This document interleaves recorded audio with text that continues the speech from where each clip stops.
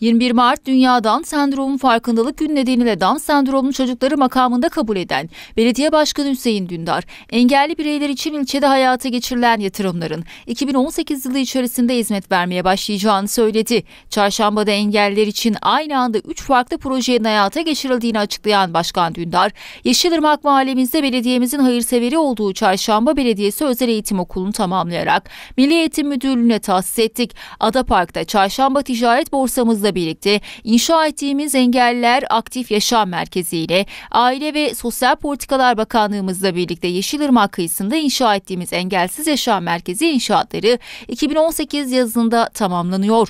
Tüm bu çalışmalarla birlikte ilçemiz engelliler için ayrıcalıklı bir yerleşim merkezi haline geliyor diye konuştu.